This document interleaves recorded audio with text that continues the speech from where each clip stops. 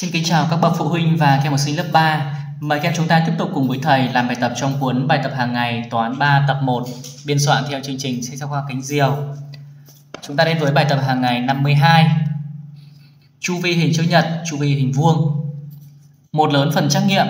Khoanh tròn vào chữ cái đặt trước câu trả lời đúng.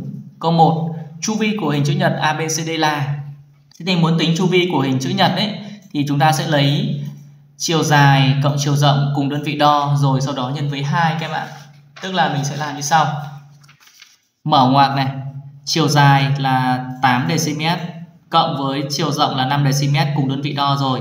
Đóng ngoặc, sau đó mình nhân với 2 như thế này nhé 8 cộng 5 thì ta sẽ được là 13 chúng ta làm trong ngoặc trước mà, sau đó mình nhân với 2 thì ta sẽ được kết quả đó là bằng 26 và đơn vị là dm Chúng mình chọn cho thầy là đáp án C ở trong câu số 1 này. Tiếp theo là câu 2.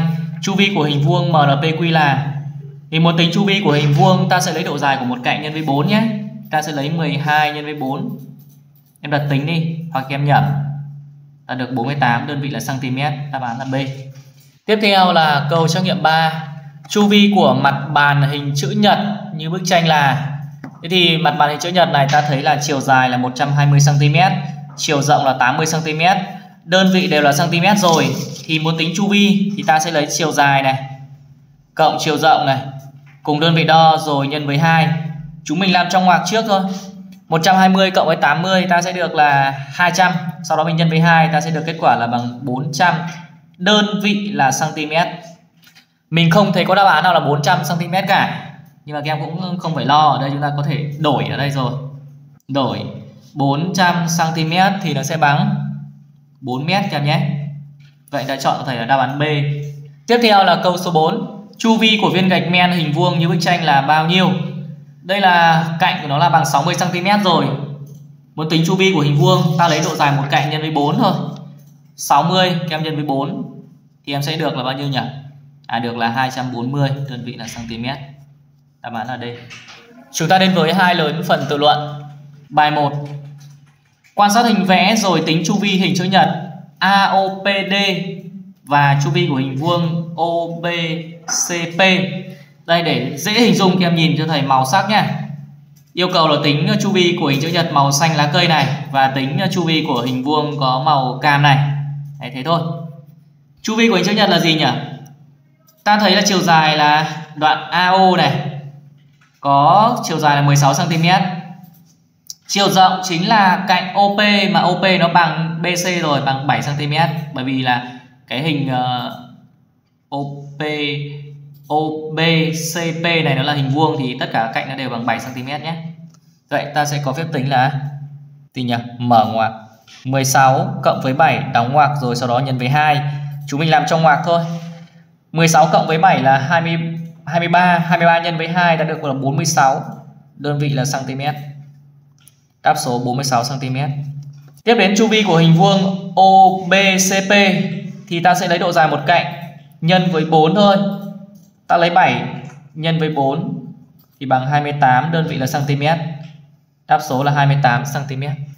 Mình đã xong bài 1 rồi. Tiếp theo là bài 2.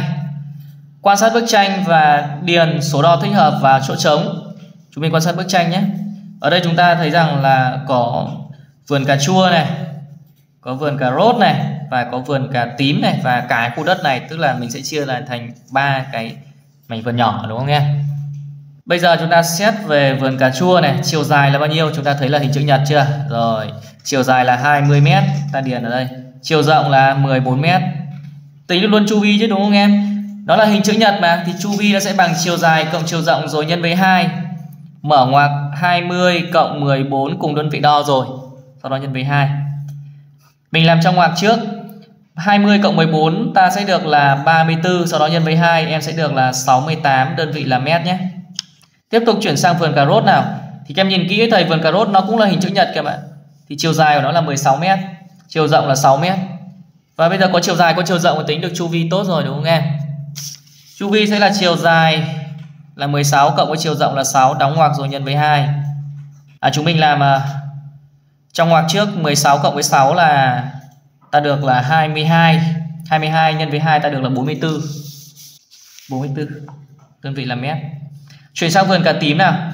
Rồi vườn cà tím thì các em à, xác định chiều dài thì dễ rồi. Chiều dài chính là cái cái cái chiều dài của cái vườn cà rốt luôn, bằng luôn.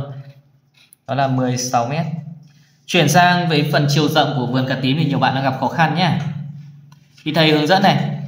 Chúng mình biết rằng là cái cạnh này nó là bằng bao nhiêu nhỉ? À, cái cạnh này nó là bằng 14 mét rồi đúng không? Nó chính là chiều rộng của cái hình chữ nhật của vườn cà chua. Cái đoạn này là 14 mét và cái đoạn cái cạnh chiều rộng của hình vườn cà rốt là là 6 mét thì ta sẽ lấy cái đoạn 14 mét này trừ đi cái đoạn 6 mét này thì sẽ ra đoạn này là bao nhiêu nhỉ?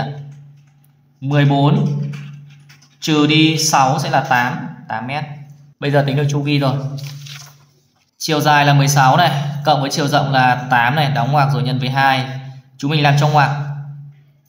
16 cộng với 8 thì ta sẽ được là 24, sau đó mình nhân với 2 thì em sẽ được là 48 nhé. Chuyển sang khu đất này.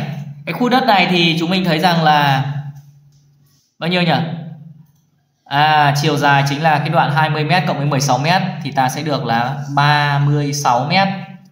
Chiều rộng, chiều rộng của cái khu đất này chính là chiều rộng của vườn cà chua này luôn, nó là 14m. Bây giờ tính chu vi của khu đất này thôi. Mở ngoặc 36 là chiều dài cộng với chiều rộng là 14, đóng ngoặc rồi nhân với 2. 36 cộng với 14 thì em sẽ ra được kết quả ở đây chỗ này là bằng à, 50 này, sau đó nhân 2 ta sẽ được là 100. Ta điền 100 mét. Như vậy là chúng mình đã xong bài số 2. Tiếp theo thầy cho mình đến với lại bài tự luận 3. Đề bài như sau. Bác ba có một mảnh vườn hình vuông cạnh 10 mét. Chúng mình cùng quan sát. Bác dự định dùng lưới để rào mảnh vườn và có để cửa 2 mét như bức tranh. Đề bài yêu cầu chúng ta là hỏi bác ba cần chuẩn bị bao nhiêu mét lưới.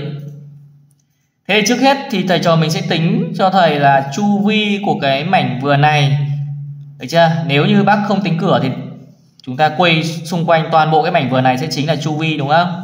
Sau đó mình lấy chu vi mình trừ đi cái đoạn cửa này là mình ra thôi, là ra số mét lưới bác ba cần.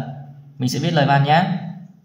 Chu vi mảnh vườn của bác ba là Thế chính là độ dài một cạnh nhân 4 là 10 nhân 4 các em ạ.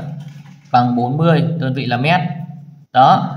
Nếu bác rào xung quanh cái vườn này không tính cửa thì sẽ chiều dài lưới sẽ là bằng chu vi và bằng 40 mét này và chúng ta trừ đi 2 mét làm cửa đúng không? Thì mình sẽ tính được là số mét lưới bác ba cần chuẩn bị. Bác ba cần chuẩn bị số mét lưới là? Mình lấy, lấy chu vi là 40 này trừ đi cái chiều dài của cửa đây sẽ là 2 mét đây. Bằng 38 đơn vị là mét. Đáp số mình ghi đầy đủ là 38 mét lưới. Như vậy là mình đã xong bài 3 kết thúc bài tập hàng ngày 52 rồi các em ạ. Thầy hẹn gặp lại các em ở trong các video bài tập hàng ngày tiếp theo. Còn bây giờ, thầy thân ái và chào tạm biệt các em.